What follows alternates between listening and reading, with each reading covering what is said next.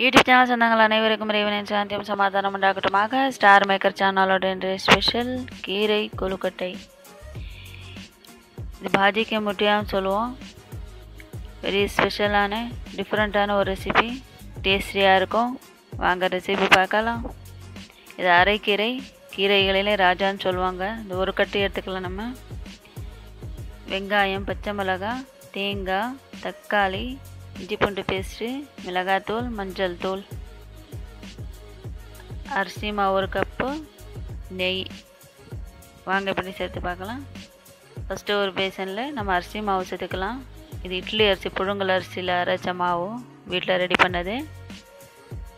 இது ஒரு கப் சேர்த்துக்கலாம். அடுத்து நம்ம நெய் சேர்த்துக்கலாம் அதில் நெய் சேர்க்கும் போது சாஃப்டாக இருக்கும். டேஸ்டியாக இருக்கும் கொழுக்கட்டை. தேவையான அளவு சால்ட்டு சேர்த்துக்கலாம். இது கொஞ்சம் நம்ம வார்ம் வாட்டர் சேர்த்துக்கலாம் மாவு பிசைறதுக்கு. ஏன்னா நம்ம இது ஆவியில் வேக வைக்க போகிறதில்ல கொழுக்கட்டை.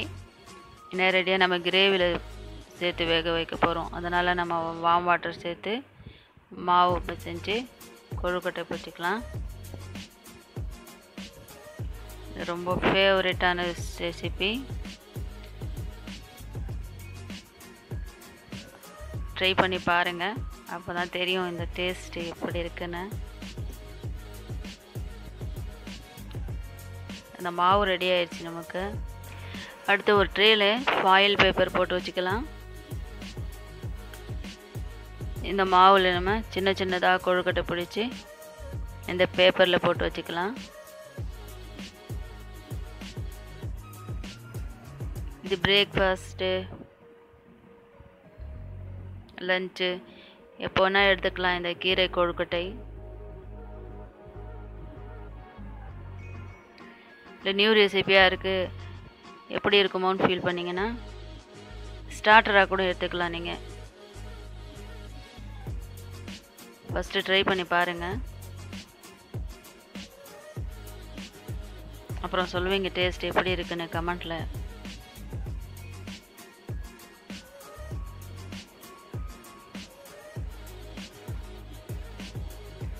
கொழுக்கட்டை ரெடி ஆயிடுச்சு. இது அப்படியே ஒரு பேப்பர் மூடி வச்சிடலாம். நம்ம கிரேவி ரெடி பண்ணிடலாம் ஃபஸ்ட்டு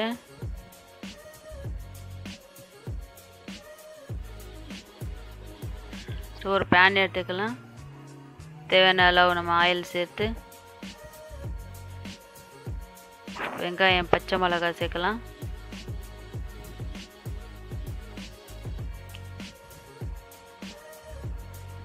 இந்த வெங்காயம் பச்சை மிளகாய் நல்லா வதங்கட்டும். கீரைகளில் எந்த கீரையில் இல்லாத ஒரு சத்து இதில் இருக்குது நிறைய. Iron calcium.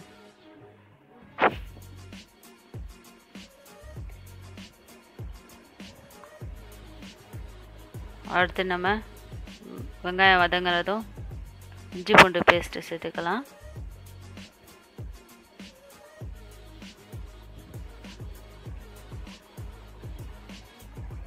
இஞ்சி பூண்டு பேஸ்ட்டு பச்சை வாசனை போனதும் இந்த தூள் சேர்த்துக்கலாம். மிளகாய் தூள் மஞ்சள் தூள்.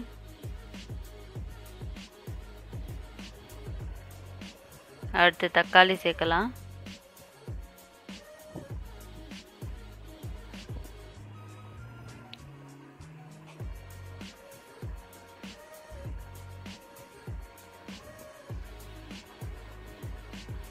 டின்னருக்கு கூட சாப்பிடுவோம் நம்ம இந்த கீரை கொழுக்கட்டை. இந்த கீரை நம்ம கல் உப்பு போட்டு நல்லா வாஷ் பண்ணி எடுத்து சின்ன சின்னதாக கட் பண்ணி எடுத்திருக்கேன். அதை சேர்த்து நல்லா வதக்கிக்கலாம் இந்த மசாலாவில் இது கீரை நல்லா வதங்கினதும் நம்ம தேவையான அளவு தண்ணி சேர்த்துக்கலாம். இந்த கிரேவிக்கு தேவையான அளவு கொஞ்சம் சால்ட்டு சேர்த்துக்கலாம். கீரை நல்லா வேகட்டும். கீரை கிரேவி ரெடி ஆயிடுச்சு. அடுத்து நம்ம இந்த கொழுக்கட்டை சேர்த்துக்கலாம். இது எல்லாமே சேர்த்து வேக வச்சுக்கலாம் இதில்.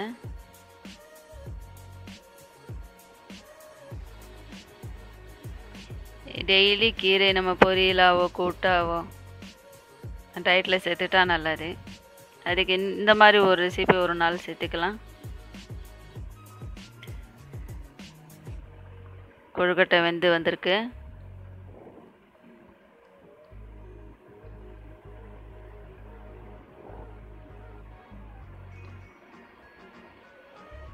செம்ம டேஸ்ட்டாக இருக்கும் அது. அப்படியே கீரை கிரேவியோடு அந்த கொழுக்கட்டை சாப்பிடும்போது.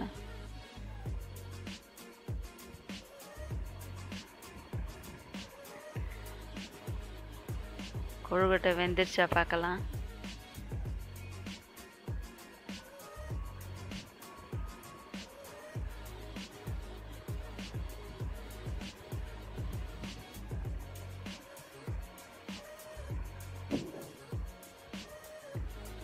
நல்லா வந்திருக்கு. அடுத்து நம்ம தேங்காய் வந்து அரைச்சி மிக்சியில் பேஸ்ட்டாக வச்சுருக்கேன். இது சேர்த்துக்கலாம். தேங்காய் சேர்த்து ஒரு ஃபைவ் மினிட்ஸ் மூடி வச்சிடலாம். ஒரு கொதி வந்ததும் போதும் இறக்கிடலாம். பாருங்கள் கொழுக்கட்டை ரெடி ஆயிடுச்சு. டிஃப்ரெண்ட் டைப்பில் ஒரு ரெசிபி ட்ரை பண்ணி பாருங்கள் கமெண்ட் பண்ணுங்க. லைக் பண்ணுங்க ஷேர் பண்ணுங்க. சேனலை சப்ஸ்கிரைப் பண்ண மறக்காதீங்க. இதே மாதிரி நம்ம நியூ ரெசிபியோட மீட் பண்ணலாம். அடுத்தடுத்து இப்படி ஒரு ரெசிபி நீங்கள் ட்ரை பண்ணிகிட்டே இருந்தால் தான் அது உங்களுக்கு தெரியும் எப்படி இருக்குன்னு. கமெண்டில் சொல்லுங்கள் ஃப்ரெண்ட்ஸ்